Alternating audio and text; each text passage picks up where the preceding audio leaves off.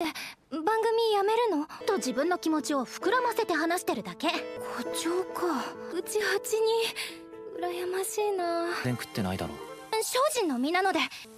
最初はよく焦がして怒られましたが今では上手に焼け筋肉とは合成ですね。見られるぞ。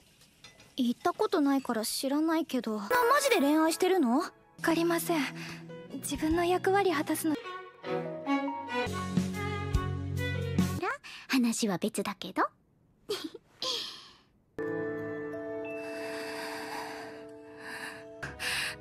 頑張って。爪痕残さなきゃ。うわこのジュースまずツイッターでネタにして元取らなきゃ。ジュースが激まずい。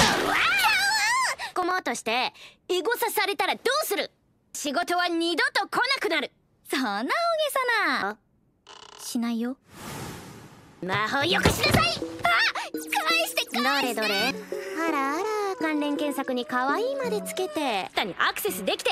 感想や客層のアナリティ頑張らないと。Twitter とか TikTok にアップする動画撮ってた。とにか目立って。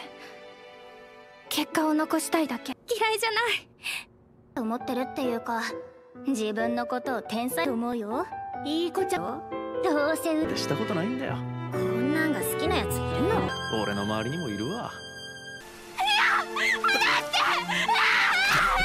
頼むから落ち着いてくれ。